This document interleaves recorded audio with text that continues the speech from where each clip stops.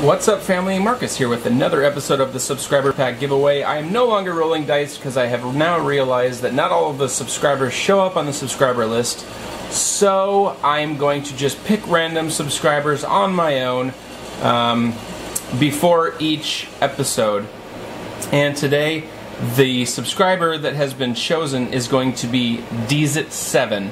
Um, he is also a Patreon, so thank you, Deezit, for all the support that you've given us. And this pack is dedicated for you. Now just make sure you contact me to claim it. Alright. Mr. Dovin Baan is at the beginning, or not the beginning, is at the cover of this pack. So maybe he'll be inside it as well. There's one of his brethren right there. Okay, so we got another Mountain and Servo, which is basically just trash. Either a foil or rare. A rare if that is not a foil perhaps three uncommons, five commons, and four commons. These are all for sure commons no matter what. So we'll look at those in a minute. Let's see, do we have three uncommons here? One, two, three. Another flippin' foil. And we got two really, really good uncommons here. Filigree Familiar is three for a 2-2, and when it enters the battlefield you gain 2 life, and when it dies you draw a card. Very good card. It is an artifact. You also have unlicensed um, Disingeneration. Whatever. Destroy target creature. If you control an artifact, it deals 3 damage to that creature's controller as well. Very good card. And then also an Incendiary Sabotage. 2 and 2 red. As an additional cost to cast Incendiary Sabotage, sacrifice an artifact. Incendiary Sabotage deals 3 damage to each creature. We.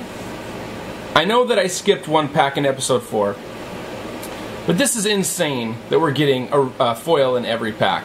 Again, yes, I skipped one, but we're 5 for 6? That's crazy. The rare is an Aetherworks Marvel. Nice pull. 4 for a legendary artifact, whenever a permanent you control is put into the graveyard, you get an energy. Pay six energies. Look at the top six cards of your library. You may cast a card from among them without paying its mana cost, but the rest are on the bottom of your library in any random order. So, yeah, pretty good. What do we have in the foil slot? A Creeping Mold. Uncommon. Two and two green, destroy target artifact, enchantment, or land. It's actually not that good. Costs a lot. But we do have five automatic uh, cards, and one of them is very, very, very great.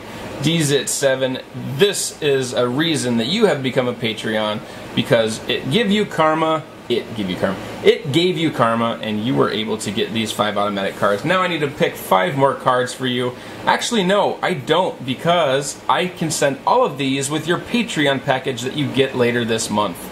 So I will just quickly go over these. We got a Lawless bro uh, Broker, a Vedalken Blade Master, Foundry Screecher, Prakhata Pillar Bug, Glint Sleeve Artisan, Accomplished Automaton, Ruinous Gremlin, Herald of the Fair, and a crab. You got a crab. It's more of a hermit, but it's a high tide hermit.